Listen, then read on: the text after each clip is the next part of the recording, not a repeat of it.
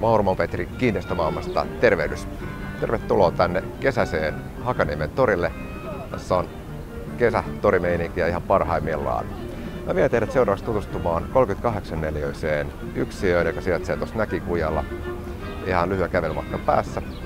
Asunto sijaitsee 30-luvun talon kuudennessa kerroksessa. Tulkaa mukaan, lähdetään katsomaan.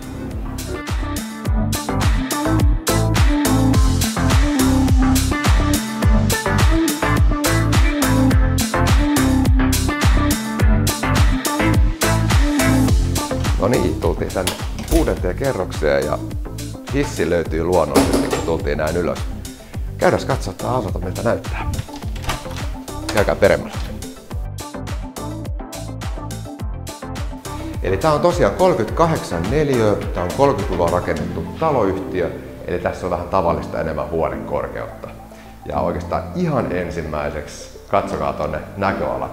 Todella avarat. Me ollaan kuudennessa kerroksessa, eli tässä on todella huikean avarat näköalat.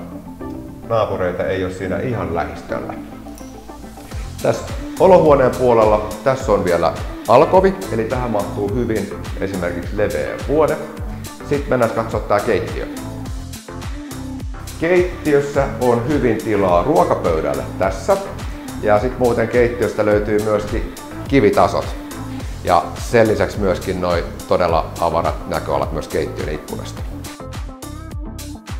Käydään katsoa vielä tää kylpyhuoneen puoli. Täällä on suihku ja pesukoneelle liitäntä tossa. Eli tämmönen koti olisi kyseessä. Hakaniemessä 38 neliötä. Eli kun haluat päästä tutustumaan paikan päälle, ota minun yhteyttä Petri Vauramo kiinteistömaailmasta.